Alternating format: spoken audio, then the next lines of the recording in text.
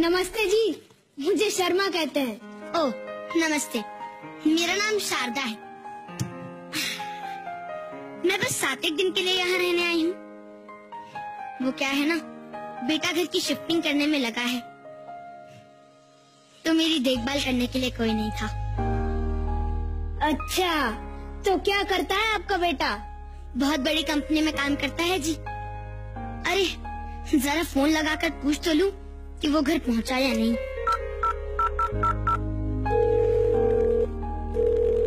Hello हाँ hello बेटा। माँ अभी मीटिंग में हूँ। थोड़ी देर में कॉल करता हूँ। बेटा तुझसे बस इतना पूछना था। तूने खाना खाया कि नहीं? माँ कहा ना बिज़ी हूँ। थोड़ी देर में कॉल करता हूँ आपको।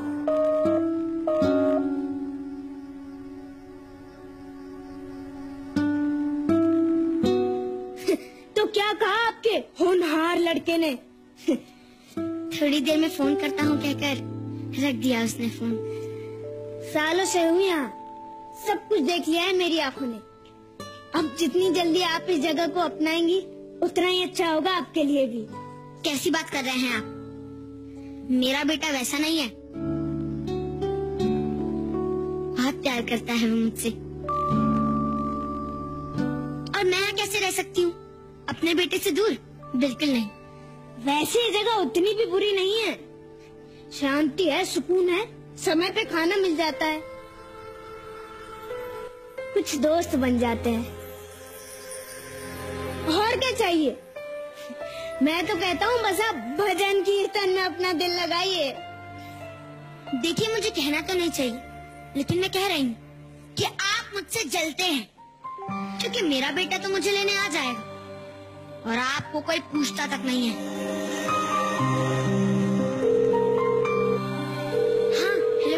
माँ अभी थोड़ी देर में कॉल करता हूँ।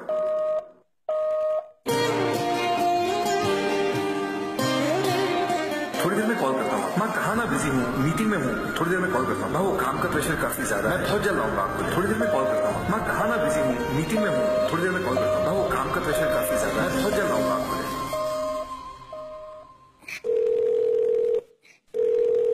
अरे रहने दीजिए शारदा जी नहीं उठाएगा हाँ माँ मैं ड्राइव कर रहा हूँ बाद में बात करता हूँ। बेटा तू भूल जाता है। पंद्रह दिन बीत गए हैं। आता हूँ माँ। बस थोड़ी सी चीज़ें सेटल कर लूँ फिर आता हूँ।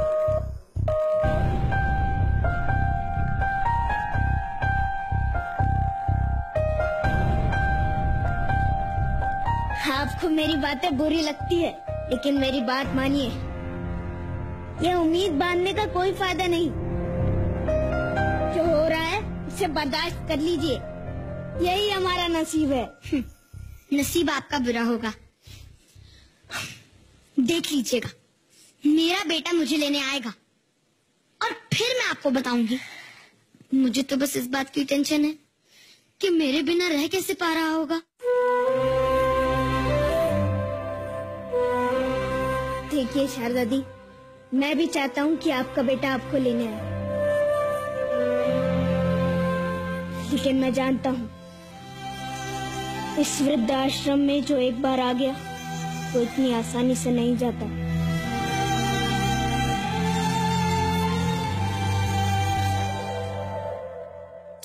आप ना बेकार की बातें करते हैं। मुझे नहीं रहना यहाँ। मैं अभी अपने बेटे को फ़ोन करती हूँ। देख लीजिएगा। वो आज ही मुझे यहाँ से लेकर जाएगा। हेलो? हाँ बेटा सुन तू मुझे आज ही यहाँ से ले जा। माँ माँ वो काम का प्रेशर काफ़ी ज़्यादा है। तो मैं ये कह रहा था कि माँ आप और कुछ दिन वहाँ मैनेज कर लो।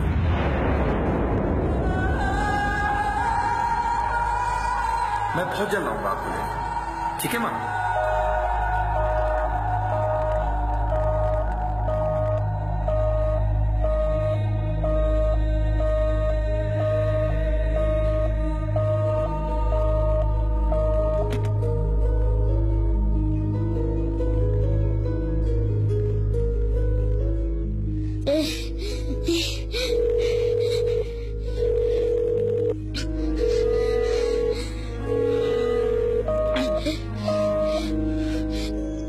फ़ोन कट गया शारदा जी।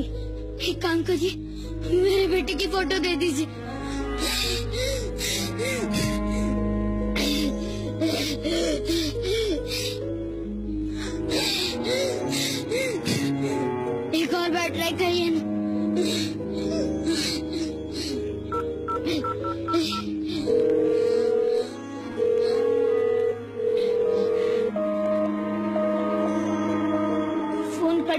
गया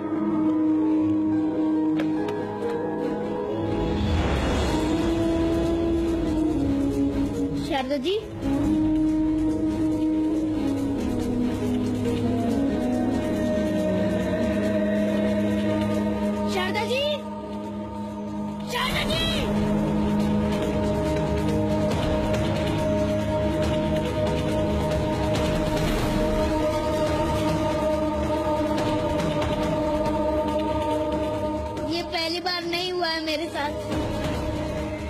शारदा जी पहली नहीं थी, जिन्होंने मेरे सामने दम तोड़ दिया। दादा ने क्यों इतनी उम्मीदें पाल रखी थी उन्होंने? उम्मीदों से सिर्फ़ दर्द मिलता है।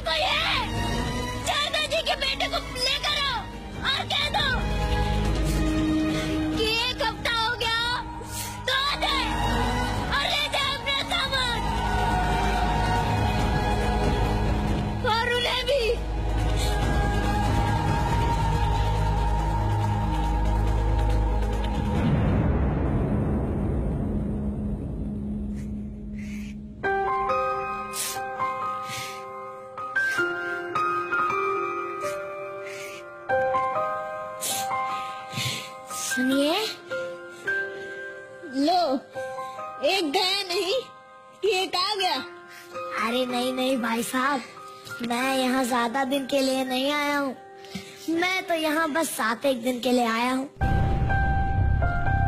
मैं बस सात एक दिन के लिए यहाँ रहने आई हूँ।